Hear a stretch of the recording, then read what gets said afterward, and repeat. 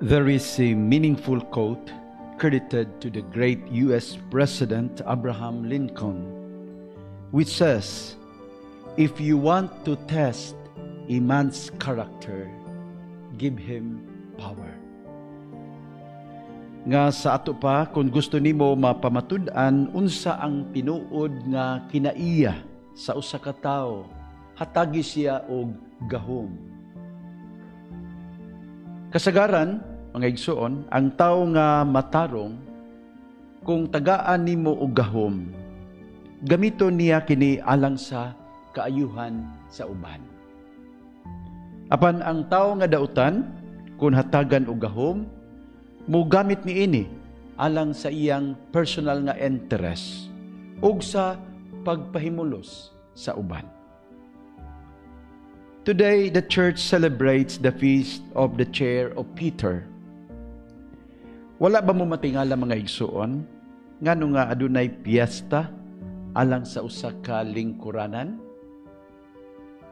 Ang chair nga atong gipasidunggan karon actually dili ordinaryo nga lingkuranan.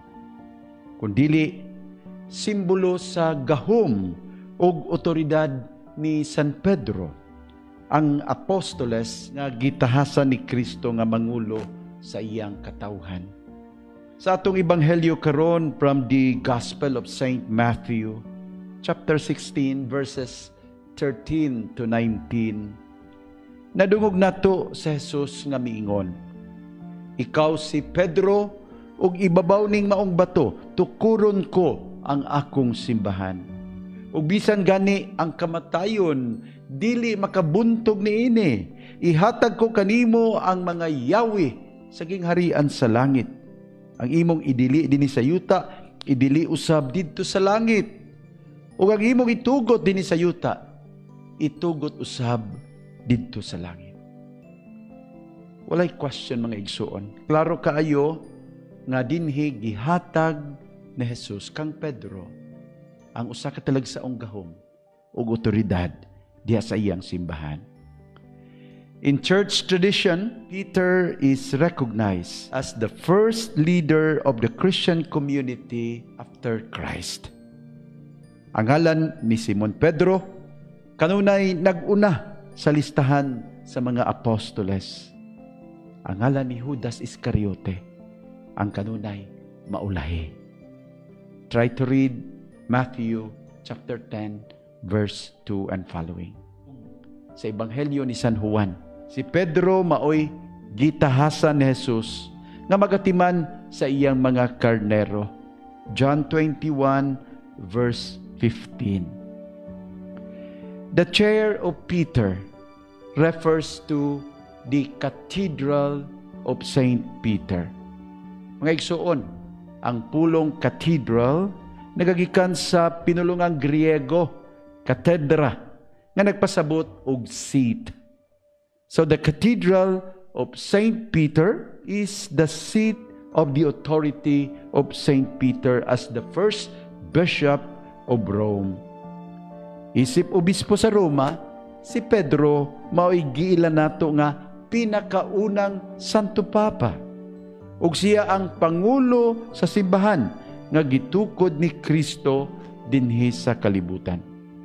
Sa katolikong pagtulunan, ang mga kaobispuhan, pinanguluhan sa Santo Papa, mao'y giila nga mga direktang manununod sa mga apostoles, the direct successors of the apostles. Unya, mga igsoon, ang matag diocese nga panguluhan sa obispo, aduna gayoy cathedral. So, dili sa Tagbilaran na ang cathedral sa Tagbilaran dito sa pikas nga diocese na ang cathedral sa Talibon ug sa ato ang metropolitan ana ang cathedral sa Cebu which is the symbol of the bishop's authority over the flock entrusted to his care. Ning kapistahan sa katedra ni San Pedro, kita mga igsuon, gipahinduman sa papel sa otoridad diha sa simbahan. ang otoridad gamiton dili sa pag-abuso kundili sa pagpangalagad. Kini gipaklaro baya ni Jesus sa iyahang pagpanudlo? You know that the rulers of the Gentiles lord it over them, and their officials exercise authority over them. Yet it shall not be so among you. Whoever desires to become great among you, let him be your servant. Matthew 20, verse 25 and 26. Si kinsa kaninyo, ang buot mahimong dako, kinahanglan mahimog yung sulugoon, mga lagad sa tanan. Kining gitudlo ni Jesus, nakatuhop gyud sa kasing-kasing ugunahuna ni San Pedro. Diha sa iyahang unang sulat nga atong gibasa karong adlaw, no? from the first letter of Peter, chapter 5, verses 1 to 4. Nindot kayo paminawon ang iyang pahimangno alang sa tanang mga nangulo sa simbahan. Dili lang ang mga obispo ha, o mga pari, mo'y angay maminaw ani, kundili ang tanan nga naghawid og gahom o otoridad diha sa katilingban. Presidente, senador, congressman, gobernador, mayor, konsehal, kapitan, ug ubang mga opisyalis. Angay nato ning paminawon og maayo ang mga pulong ni San Pedro Nagingon, Naghangyo ako kaninyo, nga bantayan ninyo pag-ayo ang katawhan nga gitugyan sa Dios kaninyo.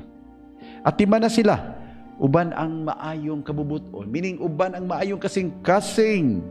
Pagtrabaho kamo dili tungod lamang sa suhol, meaning dili tungod sa kwarta, kundi tungod sa tinguha sa pag-alagad na tinuuray Ayaw ka mo paghari-hari kanila.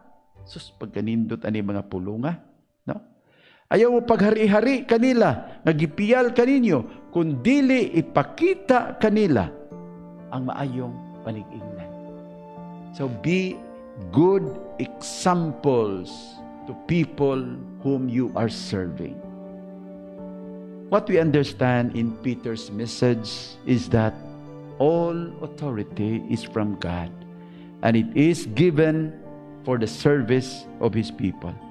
So the person who receives an office is a servant. He has to use power and authority to serve the good of others. In serving, leaders are to bring the image and presence of Christ, who is the Good Shepherd.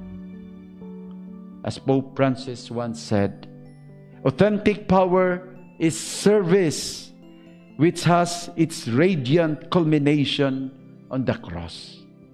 Mga igsoon, ang pagpakamatay ni Jesus dito sa krus, mao'y pinakahayag nga panig-ingnan sa tinud-anay nga pagpangalagad.